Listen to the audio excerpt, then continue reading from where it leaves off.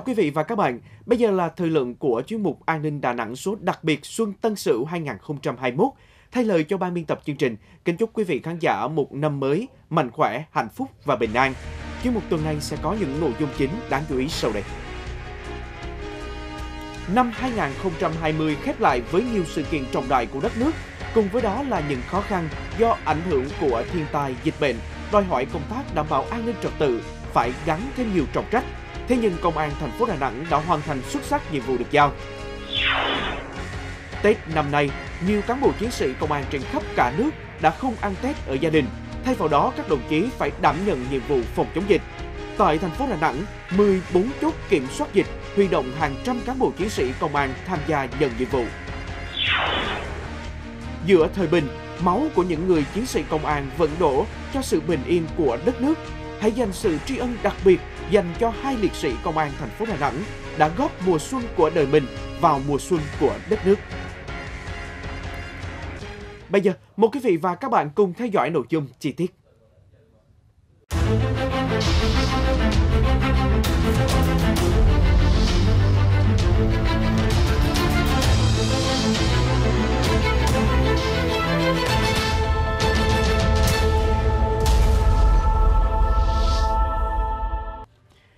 Quý vị và các đồng chí, trong không khí chào mừng năm mới Xuân Tân Sửu 2021, thay mặt cho Đảng ủy, lãnh đạo Công an thành phố Đà Nẵng, Giám đốc Công an thành phố trân trọng gửi đến các mẹ Việt Nam anh hùng, anh hùng lực lượng vũ trang nhân dân, gia đình liệt sĩ, các đồng chí thương binh, bệnh binh, cán bộ hưu trí Công an nhân dân, toàn thể cán bộ chiến sĩ, công nhân viên Công an thành phố và các đồng chí thực hiện nhiệm vụ đảm bảo an ninh trật tự ở cơ sở cùng gia đình, lời thăm hỏi và chúc mừng năm mới tốt đẹp nhất.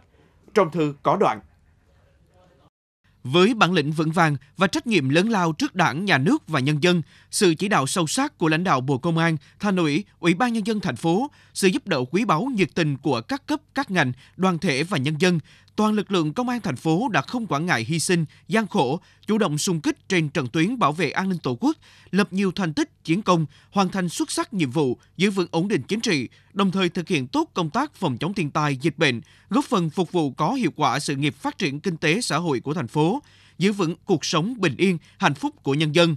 tiếp bước truyền thống 75 năm chiến đấu xây dựng và trưởng thành của lực lượng công an nhân dân Việt Nam, Giám đốc Công an thành phố tin tưởng rằng mỗi cán bộ chiến sĩ Công an thành phố Đà Nẵng luôn giữ trọn lời thề trước Đảng, Tổ quốc và nhân dân, khắc ghi và thực hiện 6 điều Bác Hồ dạy Công an nhân dân, không ngại khó khăn, gian khổ, sẵn sàng nhận và hoàn thành xuất sắc nhiệm vụ, góp phần thực hiện thắng lợi năm khôi phục, tăng trưởng và đẩy mạnh phát triển kinh tế của thành phố Đà Nẵng kính chúc các đồng chí cùng gia đình năm mới mạnh khỏe, hạnh phúc, đạt thêm nhiều chiến công và thành tích mới. Thưa quý vị và các bạn, năm 2020 là năm cuối của nhiệm kỳ thực hiện nghị quyết Đại hội Đảng toàn quốc lần thứ 12. Một trong những dấu ấn nổi bật của cả nhiệm kỳ là nỗ lực kéo giảm tội phạm đã đạt được những kết quả ấn tượng. Các mục tiêu về phòng ngừa, đấu tranh, ngăn chặn, điều tra, xử lý các loại tội phạm đều đạt được các chỉ tiêu do lãnh đạo các cấp đề ra. Nỗ lực ấy đã góp phần vào việc giữ vững ổn định chính trị xã hội, góp phần phục vụ phát triển kinh tế xã hội của thành phố. Vụ giết người phân xác rúng động dư luận xã hội do người Trung Quốc thực hiện đã nhanh chóng được điều tra làm rõ, lập nên một cột mốc phá án nhanh nhất từ trước tới nay. Còn đây là đường dây làm giả con dấu tài liệu của cơ quan tổ chức xuyên quốc gia bị công an quận Thanh Khê triệt phá. Đường dây này hoành hành khắp nơi, tuy nhiên khi vươn vòi đến Đà Nẵng thì đã bị đánh sập. Hai vụ án khác nhau nhưng đều có đáp số chung là tạo thêm niềm tin, mang lại sự bình yên cho người dân. Mong muốn lực lượng công an cũng như theo yêu cầu của, của người dân thành phố thì tình hình an ninh trật tự phải tốt hơn nữa tốt nữa và tôi hy vọng rằng là qua cái đợt triển khai lực lượng công an à, tổng tấn công các loại tội phạm bảo vệ Tết Nguyên đán như là những năm đầu, những tháng đầu của năm 21 thì công an thành phố sẽ sẽ lập được nhiều thành tích và cũng đã đáp ứng được kỳ vọng của nhân dân thành phố. 2020 là một năm đặc biệt khi Việt Nam phải đối mặt với đại dịch Covid-19. Tình trạng lợi dụng dịch bệnh để trục lợi càng gây thêm bất bình trong dư luận. Các phần tử xấu gia tăng xuyên tạc, tung tin giả về dịch bệnh nhằm làm gia tăng tâm lý bất ổn, tác động tiêu cực đến ổn định xã hội. Không để người dân hoang mang, sự hiện diện của lực lượng công an trong mọi hoàn cảnh đã trở thành chỗ dựa vững chắc, đem đến sự an tâm, an toàn cho người dân. Phát huy hơn nữa, gắn bó hơn nữa giữa cảnh sát, công an, mà nhất là cảnh sát khu vực, gần gũi với nhân dân nhiều hơn và tuyên truyền cho nhân dân, nhân dân biết được nhiều cái thủ đoạn, cái phương thức hoạt động của tội phạm để mà nhân dân người ta có cách để mà người ta tránh né, phòng chống không có có có, có để tội phạm nó nó len lỏi vào trong khu dân cư.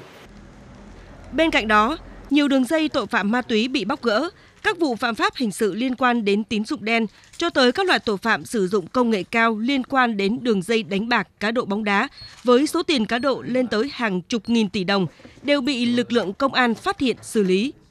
Người dân cảm nhận được sự bình yên mỗi khi ra đường. Những mong ước giản dị ấy chính là động lực để lực lượng công an tiếp tục theo đuổi quyết tâm kéo giảm tội phạm so với năm 2020. Thưa quý vị, có thể thấy trong bất kỳ hoàn cảnh nào, lực lượng công an cũng là chỗ dựa vững chắc cho nhân dân. Các anh gác lại niềm vui, niềm hạnh phúc của cá nhân để thực hiện sứ mệnh cao cả, vì nước quên thân, vì nhân dân phục vụ. Cũng vì lẽ đó, Tết năm nay, nhiều đồng chí đã không đón xuân cùng với gia đình. Bên cạnh đảm bảo an ninh trật tự, các anh còn đứng chốt tại các cửa ngõ ra vào của thành phố để kiểm soát chặt dòng người ra vào, đảm bảo an toàn phòng chống dịch, giúp nhân dân đón Tết trong an bình. Đây là chốt kiểm soát dịch liên ngành tại đường Tạ Quang Biểu, cửa ngõ phía Bắc vào thành phố Đà Nẵng. Tại đây, lực lượng chức năng đã tiến hành dừng tất cả người và phương tiện ngoại tỉnh, nhất là đến từ những địa phương đang có dịch COVID-19 để tiến hành các biện pháp kiểm tra cần thiết như đo thân nhiệt, khai báo lịch sử đi lại từng cá nhân theo quy định. Sau khi khai báo y tế đầy đủ và không có các triệu chứng cơ bản của dịch bệnh, người dân mới đủ điều kiện tiếp tục hành trình. Thực hiện ờ, kế hoạch của giám đốc thì lực lượng chúng tôi dừng tất cả các phương tiện ờ, và các ờ, phương tiện lân cận từ vùng dịch kiểm kiểm tra không bỏ lọt số trường hợp nào và yêu cầu mọi người đi trên phương tiện đó vào khai báo y tế. Thì bên mẫu y tế mình thì công việc chủ yếu là đo thân nhiệt đo thân nhiệt người dân khai, khai thác yếu tố dịch tễ với là tham mưu cho tổ trưởng chốt là công an thành phố để ra những quyết định à, ví dụ như đối với người từ về vùng dịch là cách ly đối với những đối tượng của nó mà không ở vùng dịch là có thể là khuyến cáo cho người dân không đến nơi à, đông đúc Việc tái thiết lập 14 chốt kiểm soát dịch đã tạo nên một vòng khép kín nhằm hạn chế nguy cơ xâm nhập và bùng phát dịch bệnh. Các chốt kiểm soát dịch liên ngành thực hiện nhiệm vụ 24 trên 24 giờ, liên tục các ngày trong tuần cho đến khi thông báo kết thúc nhiệm vụ của Chủ tịch Ủy ban nhân dân thành phố Đà Nẵng những cái chốt như thế này rất rất là cần thiết Đấy, thứ nhất là những cái chốt này mình kiểm tra thì mới kiểm soát được dịch chứ không không không không có những chốt này là mình không thể kiểm soát được. Đấy, hết sức hết sức cần thiết và kiểm tra còn gắt gao nữa. Đấy, yêu cầu người dân là phải thực hiện gọi là tự giác khai báo. Một mùa xuân nữa lại đến, những lực lượng có mặt tại đây đã xác định ăn Tết xa nhà, gác lại mùa xuân của cá nhân để cống hiến cho xuân đất nước, Tết của mọi người, mọi nhà được yên vui và an toàn.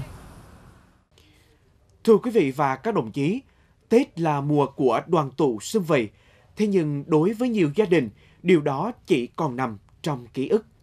Tháng 4 năm 2020, hai cán bộ chiến sĩ công an quận Sơn Trà nhận nhiệm vụ ngăn chặn một nhóm thanh niên gây rối trật tự công cộng. Trong lúc nguy nan nhất, buộc phải chọn lựa, các đồng chí đã chọn phần thiệt cho mình, chấp nhận hy sinh vì lý tưởng cao đẹp, bảo vệ cuộc sống bình yên, hạnh phúc cho nhân dân một mùa xuân nữa lại đến trong thanh bình, trong đó có sự góp sức của những chiến sĩ công an nhân dân đã hy sinh ngay giữa thời bình.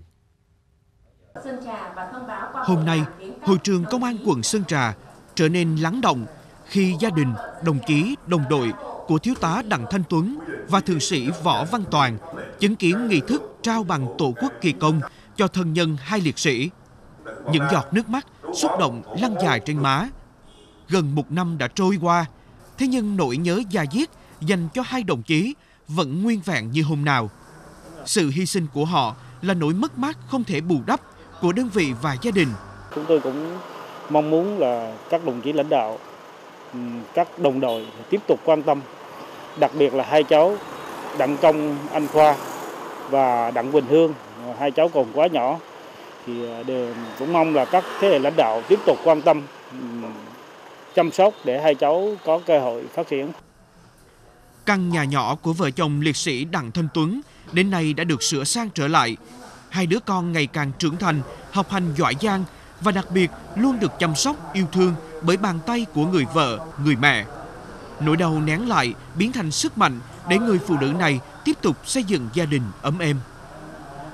Thì một là một người mẹ, người vợ, một người con thì mình càng có phải cố gắng để mà sống nuôi các con bù đắp lại các những cái thiếu thốn mà con mình thì còi để mà các con có một cái điều kiện học tập tốt hơn.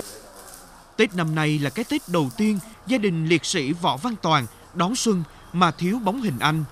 Ba mẹ, em gái Toàn lúc nào cũng nhớ về người chiến sĩ đã hy sinh ở tuổi 24, tuổi đầy ước mơ và hoài bão. Qua di ảnh, Toàn vẫn mỉm cười, nụ cười hiền lành nhưng đầy kiên cường, dũng mãnh, như cách mà đồng chí đã chiến đấu ngoan cường, bảo vệ bình yên cho từng con đường góc phố. Không có gì uh, mất mát lớn hơn là sự hy sinh của con mình nhưng ở đây đã được uh, sự hy sinh con đã được chính phủ nhà nước đảng công nhận thì mình cũng có một chút an ủi cho lòng mình. Những đồng đội của Thiếu tá Tuấn và Thượng sĩ Toàn vẫn đang giữ vững tinh thần chiến đấu bảo vệ an ninh Tổ quốc. Họ sẽ lập tức lên đường cho những nhiệm vụ giữ gìn an ninh trật tự, bảo vệ cuộc sống bình yên, hạnh phúc cho nhân dân.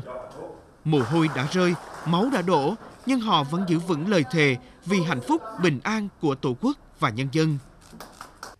Chuyên mục An ninh Đà Nẵng tuần này đến đây là kết thúc. Cảm ơn sự quan tâm, theo dõi của quý vị và các đồng chí. Một lần nữa xin chúc quý vị có một kỳ nghỉ Tết an toàn và hạnh phúc. Xin kính chào tạm biệt và hẹn gặp lại.